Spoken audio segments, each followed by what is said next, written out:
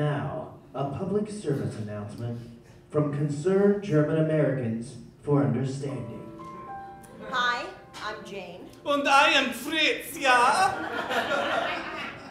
and we're German Americans. Yeah, that is ist true, yeah. And uh, we've been a little concerned about the image of German Americans since it was found that the Los Angeles arsonist is, in fact, German. Yeah, we are all great, right? There is nothing wrong with any of us. Nothing, nine, nothing! Well, uh, not all of us are great. You know, there's the arsonist, and And, and the war. yes, the war. Yeah, yeah, The but that was not our fault. Um, no. um, so, you know, uh, we just thought that uh, maybe in order to help out the image of uh, Germans, because y'all might think that we're a little. The scary, No. dangerous, No. terrorists. Uh, off-putting. Ah, off-putting, yes, that is Off-putting. true, yeah. Uh, to help us out in our image, we've invited a very famous and obscenely handsome German American to come talk to you. Hi, I'm Jon Hamm, star hear that?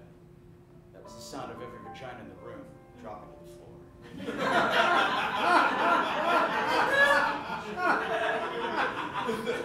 I'm worried. Yesterday I was getting my coffee and I noticed my barista wasn't staring at me for 15 minutes. She just got my coffee. I don't know what's going on, but if people are finding me less attractive, then that's a problem.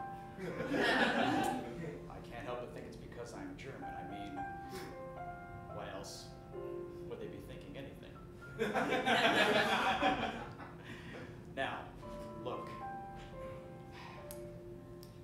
Germans are way cool extremely hot. And I'm sorry, this isn't working. Oh, just talk to them like you do on the television. Yes, you are so persuasive on Mad Men. Just talk to them like that. Okay. Give me that light. Um, it's about nostalgia. It's about the sweet pain, the yearning for what once was. It's not about buying breakfast. It's about wanting a way of life.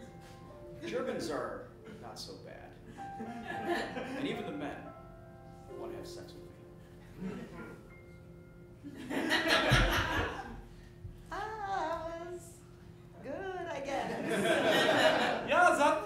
Yeah, that was great. And so is Germany. Jawohl. This has been a public service announcement from the concerned German Americans for understanding.